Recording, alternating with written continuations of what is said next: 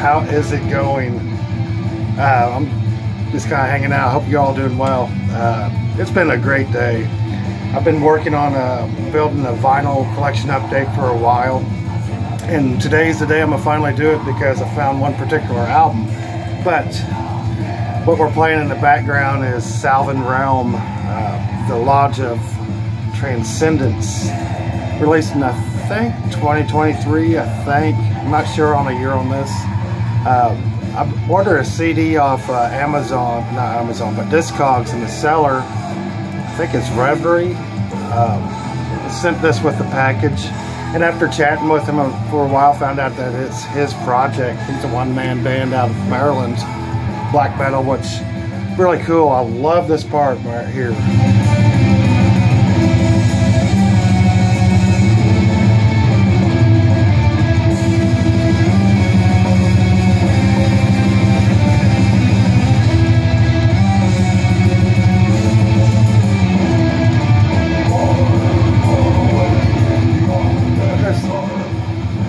Several different uh, things going on in this. It's predominantly uh, it's black metal, but there's some punk, some thrash, some heavy metal on it as well. Uh, really enjoy the vocals on this, the drumming on this, the guitar work. This is uh, a damn good album. Six tracks on this thing. I'll put a link in the description below. Uh, I believe the band was called Reverie before. He sent me both these CDs. This is more doomy black metal. It's really good. But uh, I chose to pick this one because I really love this song right here. And um, I thought I'd share it with you guys. Maybe something something to check out. So Sylvan Realm, the Lodge of Transcendence. I'll post the link in the description below. So it's been a fantastic day for me. Uh, one of those if you're like a record collector like I am, and there's always records that you're looking for, and then you go to a record shop and you're thumbing through, and then you see the top letters of something that just kind of pops out like that, and uh, you, you, just get this feeling, uh, unbelievable feeling. I've been looking for this album for decades. Uh, I have this on uh, dub cassette.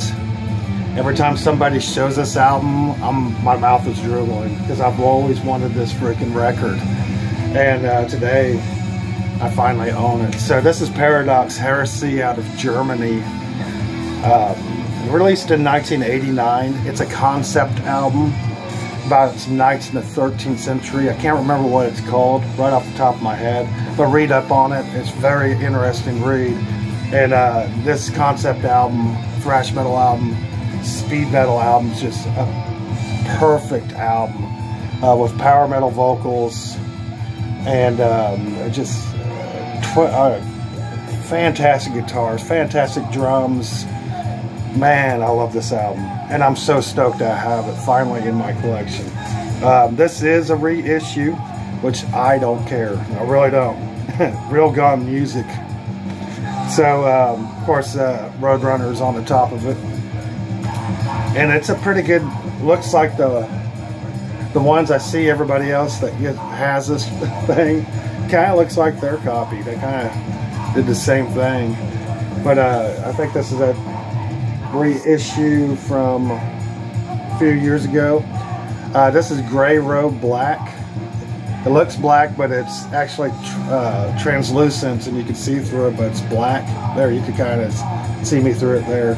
But uh, what a fantastic album! I, if you don't know this album, look it up. This is a joy to listen to, and uh, finally got it. Oh, here it is. So from the 14th to the 13th century, a particular religious sect was allowed to grow in the Black Dog region of France called Catherania. This dualist thinking religion flourished not only with poor but also people with counts of Tudulus and uh, great whatever. I'm not going to read this. I'm not a very good reader sometimes. But I mean, it tells you kind of what this concept is, and it's just a fantastic thrash speed metal album. Paradox Heresy finally got a copy. I know Thomas is probably smiling because he knows I've been looking for that for a while. So uh, this uh, collection is predominantly brutal death metal. There is some deathcore in it. Um, there is some slam and uh, there is some more thrash. So it has a little bit for everybody because I like everything. Um, I told Roger I was going to post a up, collection update video because of Suffocation. He showed uh, Souls to Deny on his uh, 10 favorite uh, album title tracks uh, response to uh, Mercyful Metal. So uh, I responded that, responded to his and said that uh, I've been really into Suffocation lately and I picked up all their studio albums. So I finished it and I picked up four and uh, so and then this all happened after listening to Blood Oath. I know a lot of people really frown on the album. I freaking love it. And this kind of sounds a little bit like Blood Oath to me. Suffocation, they're self-titled, released in 2006. And I really dig this one. I did this one a lot. I only listened to it once, so I really don't have a favorite track yet. But this is just a video showing a collection update. That's what all this is. Cool variant. Some uh, windmill black, white, and blue. Dig that color. And then the inlay, there is going to be some CDs by the way. The inlay looks like this. Pretty cool, kind of matches the, the vinyl from that background of the band. But that's a killer album. I listened to it, enjoyed the shit out of it. But like I said, I got so much uh, suffocation that I listened to them all. And uh, I couldn't really give you a good review on it right now. Uh, next one, let's see if I get this in order. Let's get this in order. Um, picked up 2013, I think, is when this was released. Uh, Pinnacles of Bedlam. This, that one was on Relapse. This one's on uh, Nuclear Blast. But uh, this is freaking killer. Holy shit. So I never did listen to this when it came out. And um, my first lesson was actually when I got this record. So it was a brand new experience for me. Because, um, as you know, I'm an old school death metal guy. I have all Suffocation's first albums. But now my collection is complete, and this one is fantastic. I love the guitar solos in this one. I think this is the best guitar solos in it. Cover art kind of bugs me a little bit. Looks like Disturbed, I guess but I'm not picky. It still looks cool. Uh, variant on this bad boy is beautiful. Yellow and uh, black. And then on this side's that. Looks freaking sick. Um, but anyway, yeah, I'm so stoked to have this. Um, my favorite track when I was listening to this is the opening track because that guitar solo is divine. That guitar solo is divine. There was also a track with clean guitar Sullen Days, I think it was. And I like how they they had one guitar going the opposite direction and making it sound out of tune, kind of sound cool. But the, uh, this is a fantastic album. Just so stoked to have it. So that, and then uh, the, the, last two Suffocation albums I picked up was on CD, and I uh, got End of Dark Light, and uh, I, I listened to it once. I need to listen to it some more but um, I found it pretty damn good. I'll just say that. But it's one of those albums I'll have to listen to a couple of times. I think this is their uh, eighth album, if I remember right. 2017. Comes out with the old-fashioned shitload of freaking folds, so I'm not going to do that and fuck it all up. but uh, so stoked to have this one. And uh, probably going to listen to this a little bit more see if I can get into it a little bit more. I, I did like what I hear heard, but I'm one of those guys. Sometimes it takes a couple listens. Uh, then I picked up their newest album, 2023, and holy shit, this is freaking killer. Uh, what's this? The Hymns of Apocrypha? Prophica? Yeah. Me and uh, pronouncing words right now, I'm trying to choke the same time it's not good. But this is this artwork's cool. I could have got this on wax, but I wanted to have Dark Light. I had a limit. when I was ordering. and um, that there you have it. I just picked them up on CD because I know later I could pick them back up on wax later. So that's my suffocation part of it. Um, then I got this freaking beast. Let me get this wax out of here. Uh, this is a beast. Holy shit, this is ingested. Uh, the sur Surreption Part 2. Released in, when was this released? I wrote it down so I wouldn't fuck it up. 2021. This is a, a band out of the UK apparently. I have their first album that uh, Life Eternal sent to me and I love that damn thing. I made a video reaction to that one of the tracks and it just blew me away, that slam part. So when I saw this at the record store, I was like, oh hell yes, I'm getting this motherfucker. And I am glad I did. I love this damn thing. Uh, every track on this thing was killer. I listened to this several times. Actually, I went over this um, right after Suffocation. I had to listen to this thing again. Uh, it is brutal, technical death metal with slam. Uh, the vocalist, I don't know if there's multiple vocalists, but there are so many registers the vocalist is doing. A low guttural whenever there's slam parts. whenever there's just regular death metal or brutal death metal, a standard death metal vocal, and then whenever they hit some of the tremolo picking, he'll layer it up with uh, gutturals and a, a, black metal vocal. There's so many layers, so much attitude in this freaking album. I love this thing to death. Uh, I love how the tremolo picking sounds on this thing. And then they'll quickly go into a slam part and back into an old school death metal sounding riff and just awesome. Um, Crowning the Abomination, I love that one. They come in unperceived. There's a, uh, a synth part in that towards the end of the track that gives it a lot of atmosphere and I love how that sounds. Kingmaker, I love that track. Manifesting Obscenity. Actually, I think Manifesting Obscenity is the track I was talking about with the synth work. And the Alpha and Omega, that's um, the last track. It's all side D, so it's a pretty long track and has some atmospheric parts. Uh, this is a freaking masterpiece. I love this damn album. But variants on this one is uh, smoky red, I guess, or maybe flesh. This is a killer freaking album. I love it. I love this thing. Um, let's go with another CD, and that'll be the last of the CDs. Uh, picked up Cattle Decapitation's Karma Bloody Karma. Uh, this is their third studio album, and uh, I don't remember when it was released. I think it was released in 2006. I should have wrote it down, but been really getting into cattle decapitation lately. Um, I thought I'd pick this CD up. I did see the vinyl, but they wanted freaking change for it, and I didn't feel like uh, dishing that much change, so the CD was fine with me. Uh, first track on it is Killer, or it's an intro, but the the main meat of it. Uh, this is pretty much uh, brutal death metal. That's what this is, and this is fantastic stuff. Love the artwork too that looks killer. Couldn't get the sleeve out. There we go.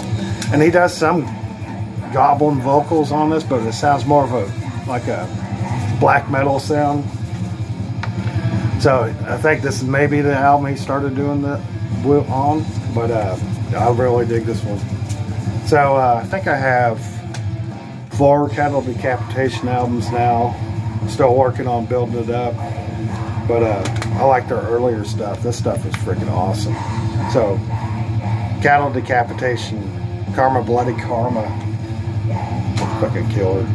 So then I'm gonna get something might make some people shriek, but I fucking love it. Um, it's a blind buy. I just saw it in the store. There's a couple blind buys in here, and I'll point those out. I've heard of the band. I think this band is called. I wrote it down so I wouldn't fuck it up. Thy, Thy Art is Murder. And this album's called Hate. Released in 2012. Band's out of Australia. And uh, it's deathcore. But it's um, symphonic. not not this one's not symphonic, but it's a, it's deathcore. I had this mixed up with the other band. It's killer. I love the guitar solos in it. Guitar solos against the background of that choppy sound. Guitars just kind of flow real smooth. The vocals are fucking killer on this thing. Drums, I love it. Love this album. Uh, Reign of Darkness, I really dig that track. Shadow of Eternal Sin was killer. Immolation was a killer track. Infinite Forms, Gateways of Misery, um, Doom from Birth. Oh yeah, Doom from Birth. This is a killer album. Just uh, that modern, uh, brutal death metal sound, and I love it. Look at this variant. It's a yellow with uh, red and purple great record. So I mean, not everybody's gonna like deathcore. I'm slowly getting into it, but it's not something that I'd listen to all the time. But this is this is actually a good record. So Killer Blind, blind by there. Um, this next record I showed a while back in a video that I took down, but uh, I'm gonna show it in this collection updates because I don't believe I uh, came back to it. But of course, I got Death Angel uh, Humanicide and this was released I wrote it down 2019 so I think this is our ninth studio album. And I really dig this one a lot. Humanicide was killer. Divine uh, defector. I really like that. There's some kind of death metal almost uh, dark angel sounding stuff in it. Vocals are killer. The pack I loved a lot. Um, of Rats and Men. The variant is uh, kind of on a clear with purple. This is a killer record, so glad it's in my collection. I've been wanting to get it for a while because I like anything with wolves on it. And so I'm trying to get all their records, I have that. And um, really enjoy Death, Death Angel. I think I'm only missing three albums. I think three albums, but look at the artwork. Love that fucking killer. Then um, I think this was a recommendation off somebody's channel. I don't remember which it was. I think it was. I think it was Metal Mickey. Uh, this one's on on Black Wax. I'm not gonna show it, but uh, got this heavy metal album out of the UK. This uh, this is Seven Sisters, The Cauldron, and The Cross. Um, really cool, kind of power metally, heavy, standard 80s heavy metal, speed metal a little bit. Uh, really enjoyed this record. Uh, saw it. It was a blind buy because I just remember uh, somebody mentioned it. I'm pretty sure it was Metal Mickey. But uh, yeah, really, really enjoyed this album. It's pretty good. The only thing I didn't really like is the vocals are kind of, I think they need to be meaner. If they were meaner, this album probably be top notch. But right now it's probably a 7 out of 10. It's that good. Not saying the vocals are bad, it's just uh, if I was the vocalist, I would have been, I probably shouldn't critique somebody. It's their art, so I'll just leave that alone. and then um, I got two more records to show you. Uh, this is another blind buy. I've heard of Kataklysm. Um, I've seen this artwork. This is Kataklysm Unconquered, released in 2021, I believe um, or 2022. It's on the back, Steve.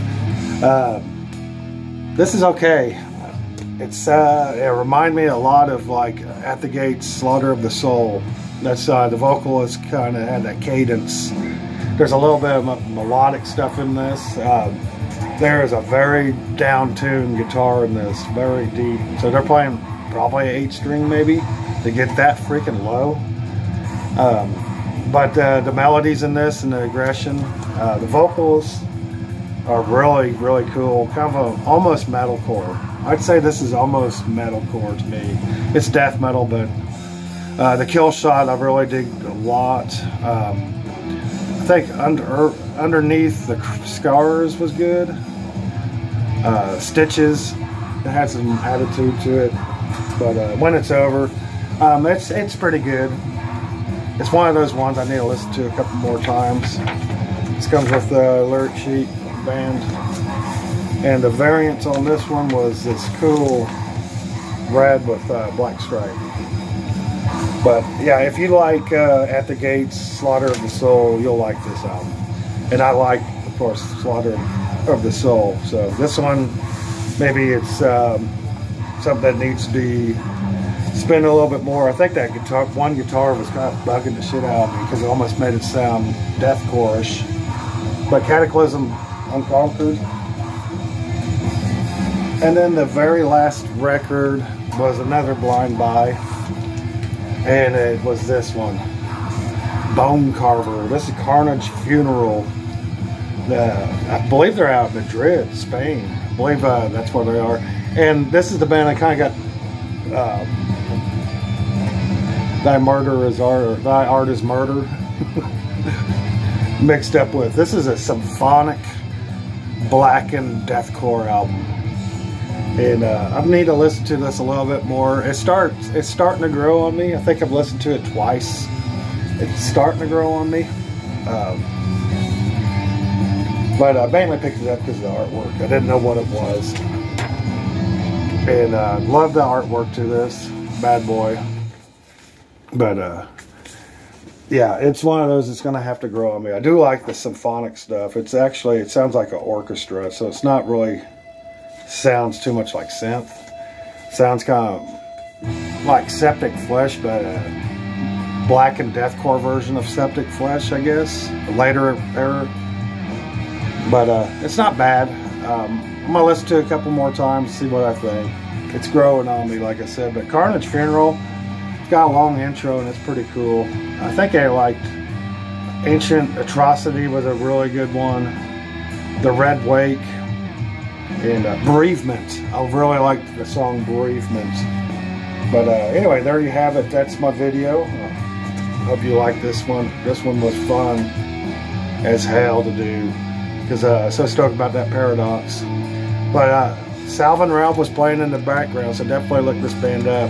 This guy needs your support. This is a fantastic release.